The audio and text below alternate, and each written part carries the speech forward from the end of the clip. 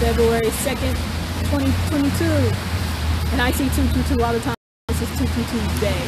So I'm going to show you examples of all the 222s I see. In fact, it's actually on my um, bank account receipt. So give me a second. I'm going to show you all the 222s. Hope you have a great 222 day. Oh, 211, what's up? See? Wait, that even adds up to 222. One plus one is two. Cool. Alrighty. Bye.